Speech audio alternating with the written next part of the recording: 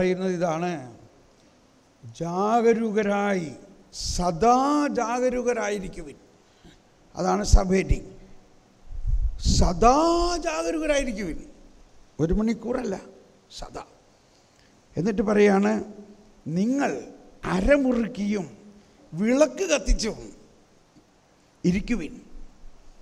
തങ്ങളുടെ യജമാനൻ കല്യാണ വിരുന്ന് കഴിഞ്ഞ് മടങ്ങി വന്ന് മുട്ടുന്ന ഉടനെ തുറന്നു കൊടുക്കാൻ അവന്റെ വരവും കാത്തിരിക്കുന്നവരെ പോലെ ആയിരിക്കുവിൻ. ഇനി പറയണത് ഈ ഗാനം കേൾക്കുമ്പോൾ കോരിത്തരിക്കും കേട്ടോ. അതിന്റെ അർത്ഥം വളരെ വലിയ അർത്ഥമാണ്. യജമാനൻ വരുമ്പോൾ ഉണർന്നിരിക്കുന്നവരായി കാണുന്ന ഭൃത്യന്മാർ ഭാഗ്യവാന്മാർ സത്യമായി ഞാൻ നിങ്ങളോട് പറയുന്നു അവൻ അരമുറുക്കി അവരെ ഭക്ഷണത്തിനിരുത്തുകയും അടുത്ത് വന്ന് അവരെ പരിചരിക്കുകയും ചെയ്യും. അവൻ ആരമുറുക്കുന്നു ആരാണ് അവൻ? യജമാനൻ. ഇത് നമ്മൾ യജമാൻ നമ്മൾ യജമാനനെ നമ്മൾ ആരാധിച്ച് അരമുറുക്ക് റെഡിയായിരിക്കുകയാണെങ്കിൽ സത്യമായി ഞാൻ നിങ്ങളോട് പറയുന്നു അവൻ അരമുറുക്കി അവരെ ഭക്ഷണത്തിനിരുത്തുകയും അവരെ ഭക്ഷണത്തിലിരിക്കുകയും അടുത്ത് ചെന്ന് അവരെ പരിചരിക്കുകയും ചെയ്യും. വയോ സിസ്റ്റർ കം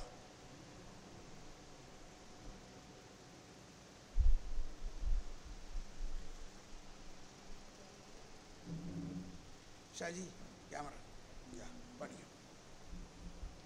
യജമാനൻ വരുമന്നേര തുണർവുള്ളോരായി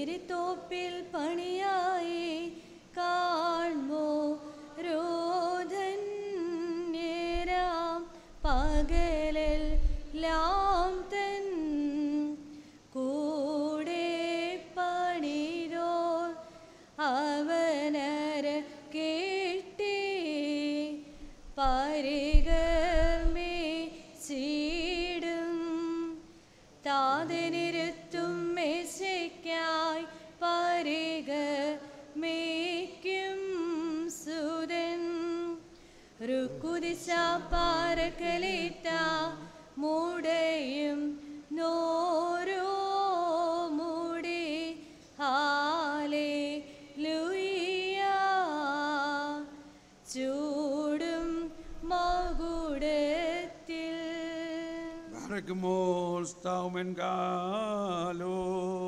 One more time. One more time. എല്ലാവരും ഒന്ന് ഏറ്റുപാടിയേ യജമാനൻ വരുമന്നേര തുണർവുള്ളോരായി തൻ മുന്തിരിത്തോപ്പിൽ പണിയായി കാൺമോ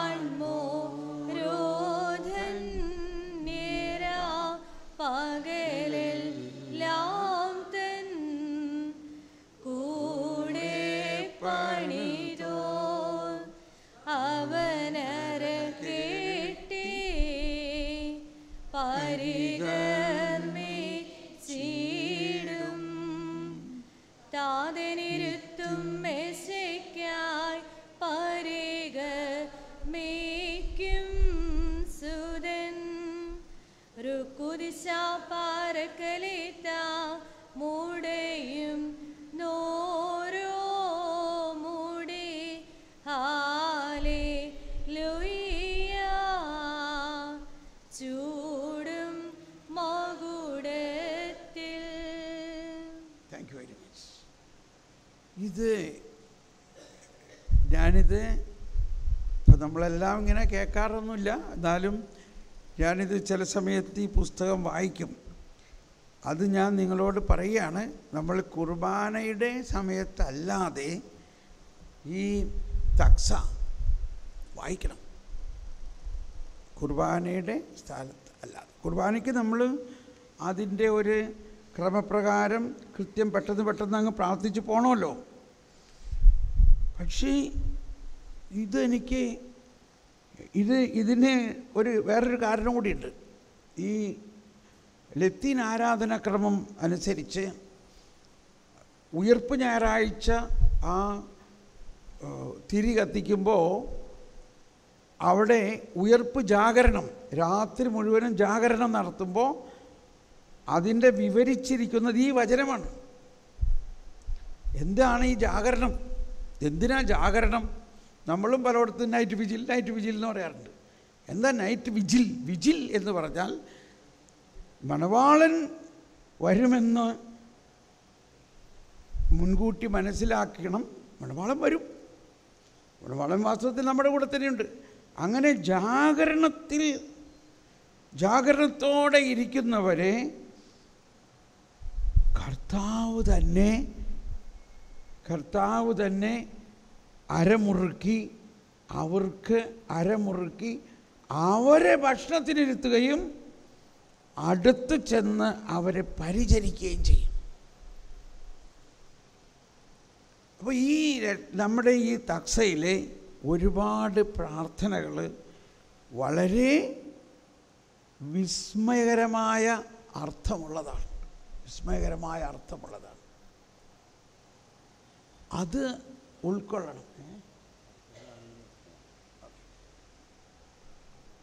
അത് ഉൾക്കൊണ്ട് നമ്മൾ പ്രാർത്ഥിക്കുമ്പോൾ ഈശോയുടെ ഈ വിശുദ്ധ ബലി അർപ്പണത്തിൽ നമുക്കൊരു കൂടുതൽ അനുഭവമുണ്ടാവും അതിന് വിശുദ്ധ കുർബാന ഒരു അനുഭവമാകുമ്പോൾ ഒരു ഇപ്പോൾ സീറോ മലബാർ കുർബാനയിലെ എന്നെ വളരെയധികം സ്പർശിക്കുന്ന ഒരു ഭാഗം സർവാധിപനാം കർത്താവേ നിൻ സ്തുതി ഞങ്ങൾ പാടുന്നു.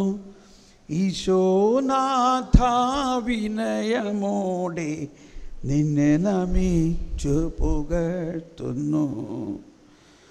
മർത്യനു നിത്യമഹോന്നതമാം ഉത്ഥാനം നീ അരുളുന്നു.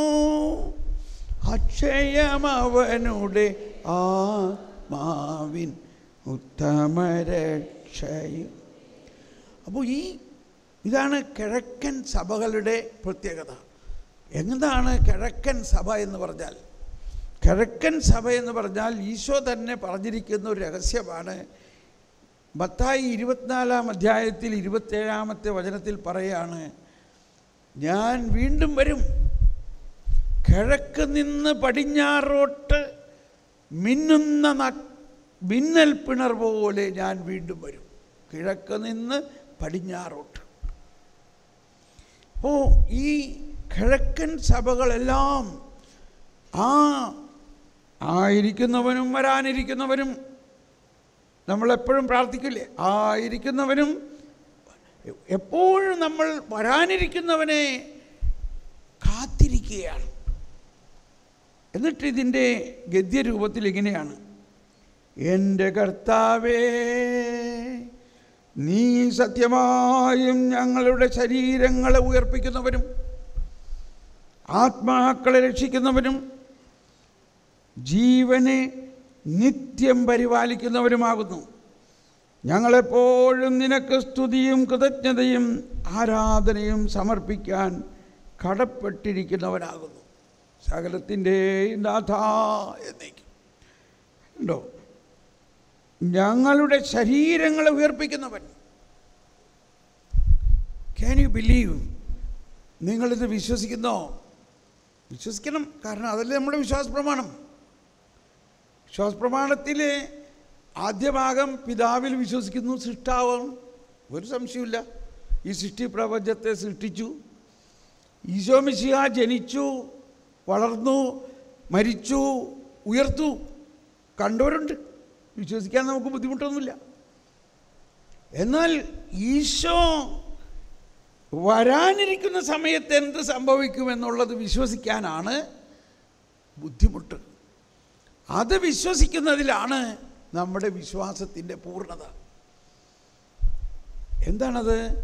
ഈശോ വീണ്ടും വരുമ്പോൾ ഇന്ന് ഇവിടെ ജീവിച്ച് മരിച്ചുപോയ അഴുകിപ്പോയ സകല മനുഷ്യരും ഉയർത്തെഴുന്നേൽക്കും. ഇനി ജീവിക്കുന്നവർ രൂപാന്തരപ്പെടും. അങ്ങനെ അവരെല്ലാം ശരീരത്തോടും ഈ അവരുടെ എല്ലാം ശരീരം മഹത്വീകരിക്കപ്പെട്ട ശരീരമായി യേശുവിനോടൊപ്പം നിത്യമായി വാഴും. അതാണ് മതബോധന ഗ്രന്ഥത്തിൽ ആയിരത്തി നാൽപ്പത്തി രണ്ടാമത്തെ ഖണ്ഡികയിൽ പറയുന്നത്. ഇത് വിശ്വസിക്കണം. ആയിരത്തി നാൽപ്പത്തിരണ്ടിൽ പറയുന്നത് ഇതാണ് സമയത്തിന്റെ പരിസമാപ്തിയിൽ ദൈവരാജ്യം അതിന്റെ പൂർണതയിലെത്തും. അപ്പോൾ ദൈവരാജ്യത്തിന്റെ പൂർണതയിലെത്തുന്നത് ഈശോയുടെ വീണ്ടും വരവിലാണ്. അതിനുശേഷം സാർവത്രിക വിധി ഉണ്ടാവും ആ സാർവത്രിക വിധിക്ക് ശേഷം നീതിമാന്മാർ ശരീരത്തിലും ആത്മാവിലും മഹത്വീകൃതരായി ക്രിസ്തുവിനോടുകൂടെ എന്നേക്കും ഭരിക്കും. പ്രപഞ്ചം മുഴുവൻ നവീകരിക്കപ്പെടുകയും ചെയ്യും. മനുഷ്യവംശത്തോടൊപ്പം മനുഷ്യനോട് ഗാഠമായി ബന്ധപ്പെട്ടിരിക്കുന്നതും അവരിലൂടെ സ്വന്തം ഭാഗധേയം പ്രാപിക്കുന്നതുമായ പ്രപഞ്ചം തന്നെയും ക്രിസ്തുവിൽ പരിപൂർണമായി പുനഃസ്ഥാപിക്കപ്പെടും. പ്രപഞ്ചം. ഉദാഹരണം ഏഷ്യ പ്രവചനത്തെ പുസ്തകത്തിൽ പറയാണ് അപ്പോൾ ചെന്നായും ആട്ടും കുഞ്ഞും ഒന്നിച്ച് വസിക്കും. ഇപ്പം ചെന്നായി ആട്ടും കുഞ്ഞിനെ കണ്ടാൽ എന്തായിരിക്കും അവസ്ഥ? എന്നാൽ അന്ന് ചെന്നായും ആട്ടും കുഞ്ഞും ഒന്നിച്ച് വസിക്കും. അവിടെ പറയുന്ന മറ്റു കാര്യങ്ങളെല്ലാം. അങ്ങനെ സമയം വരുമ്പോൾ സഭ സ്വർഗീയ മഹത്വത്തിൽ പങ്കുചേരും. അപ്പോൾ നമ്മളിവിടെ കുർബാനയിൽ പല പ്രാവശ്യം പറയുന്നൊരു കാര്യമാണ് അങ്ങ് വീണ്ടും വരുമ്പോൾ നമ്മുടെ ശരീരത്തിൽ ഉയർത്തെഴുന്നേറ്റ് അനുഭവം ഉണ്ടാവും.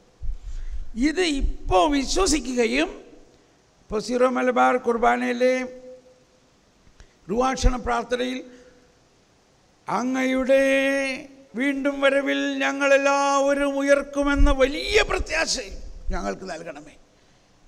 കുർബാന സ്വീകരണത്തിന് മുമ്പ് സ്വരാജ്യത്തിലുള്ള വിശ്വാസത്തോടെ കർത്താവ് ഈശോമിശിഹായുടെ ശരീരവും തിരുരക്തവും ഭക്ഷിക്കാനും പാനം ചെയ്യുവാനും തിരുസഭ നിങ്ങളെ ക്ഷണിക്കുന്നു.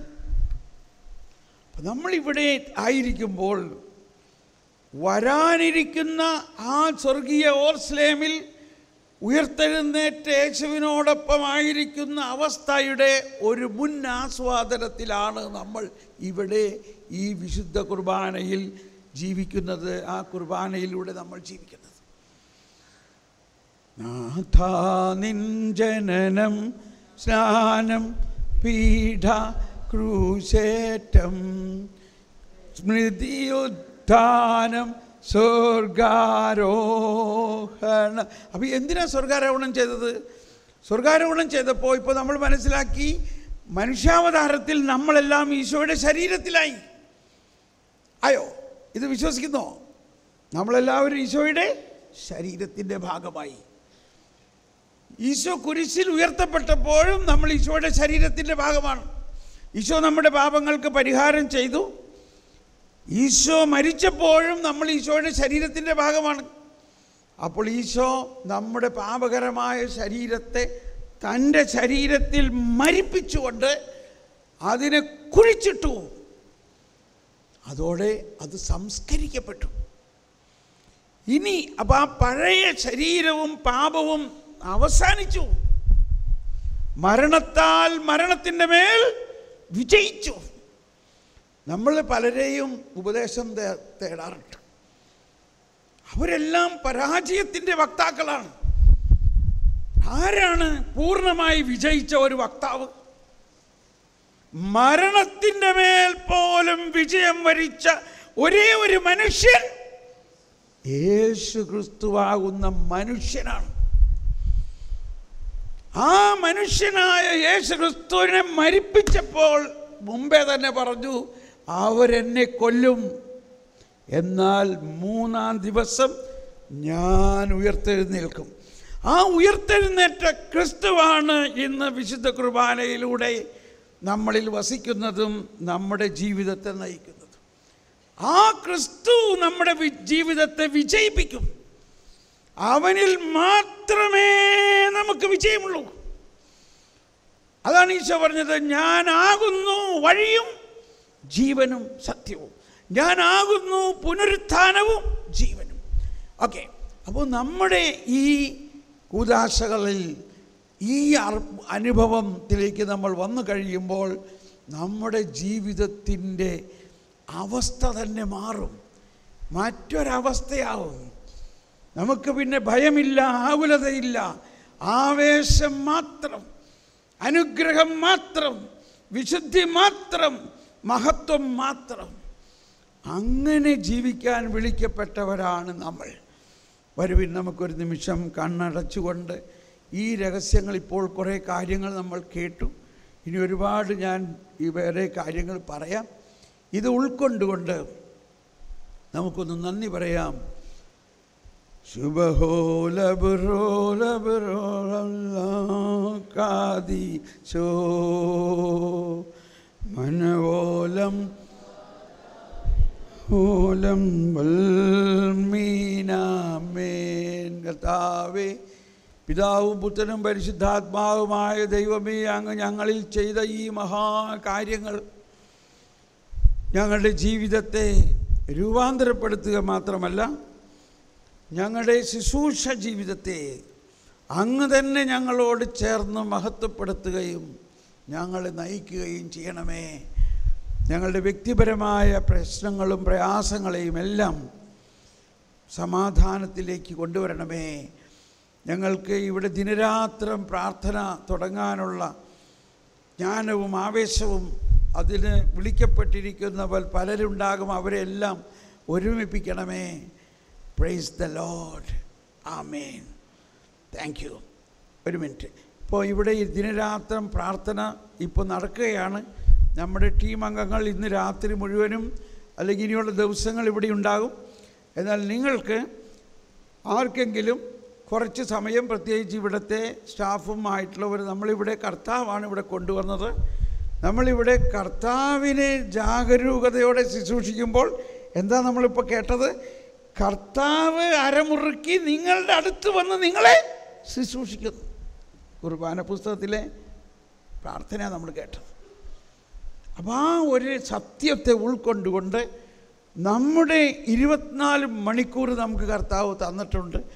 അതിൽ സാധിക്കുന്ന പോലെ ഒരു മണിക്കൂറോ അരമണിക്കൂറോ കർത്താവിന് സമ്മാനമായിട്ട് കൊടുക്കും. അപ്പോൾ ഈ നിങ്ങൾ നമ്മൾ ഓരോരുത്തരുടെയും വ്യക്തി ജീവിതം നമ്മുടെ കുടുംബം എല്ലാം അനുഗ്രഹമാകുന്നതോടൊപ്പം തന്നെ ഇവിടെ കർത്താവ് ഇത്രയും വർഷത്തെ എന്തോരം വൈദികരുടെയും സന്യസ്തരുടെയും ജീവിത സമർപ്പണത്തിലൂടെ ഉണ്ടായ ഈ വലിയ പ്രസ്ഥാനം. എന്തോരം സന്യസ്തർ ഇവിടെ ശുശ്രൂഷിച്ച് ഇവിടെ മരണമടഞ്ഞിട്ടുണ്ട് അവരുടെ എല്ലാം സമർപ്പണത്തിന് മറ്റൊരു തലം നമുക്ക് കണ്ടെത്തുകയും ഈ ഇവിടെ വലിയ അഭിഷേകവും അനുഗ്രഹവും സ്നേഹവും സന്തോഷവും നിറയുന്ന ഒന്നായി മാറും. അങ്ങനെ എനിക്ക് വലിയൊരു പ്രതീക്ഷ തോന്നുകയാണ്. നമ്മളെല്ലാം അതിന്റെ ഒരു ചെറിയ തുടക്കം കുറിക്കുന്നതേ ഉള്ളൂ.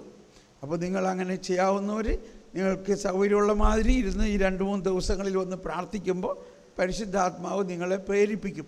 പിന്നെ സിസ്റ്റർ ലില്ലിയോടോ അല്ലെങ്കിൽ അതിലാരെങ്കിലും ഓർഗനൈസ് ചെയ്യാനൊരു ലീഡർ ഉണ്ടാവും അവരുടെ അടുത്ത് പോയി പറയും ഞാൻ ഇന്ന സമയം പോലെ ഇന്ന സമയം തരാം പിന്നെ അതിനൊരു ചാർട്ട് ഉണ്ടാക്കും. ആ ചാർട്ടിൽ ഇരുപത്തിനാല് മണിക്കൂറും ഫില്ലപ്പാവും. ഫില്ലപ്പായി അതിങ്ങനെ ഓട്ടോമാറ്റിക്കായിട്ട് ആ ഫില്ലപ്പായ സമയത്ത് അവർ വന്നിരുന്ന് പ്രാർത്ഥിക്കും. അങ്ങനെ ട്വന്റി ഫോർ അവേഴ്സ് സുഖകരമായിട്ട് നടക്കും. ഇപ്പോൾ നമ്മളിവിടെ അവസാനിപ്പിക്കുന്നു. ആർക്കെങ്കിലും എന്നെ ഒന്ന് കണ്ട് സംസാരിക്കണോ വ്യക്തിപരമായി പ്രാർത്ഥിക്കണോ എന്ന് വേണമെങ്കിൽ ഐ ആം ഞാനിവിടെ ഉണ്ടാവും. നിങ്ങൾക്ക് എന്റെ അടുത്ത് വരാം. Praise lord thank you god bless you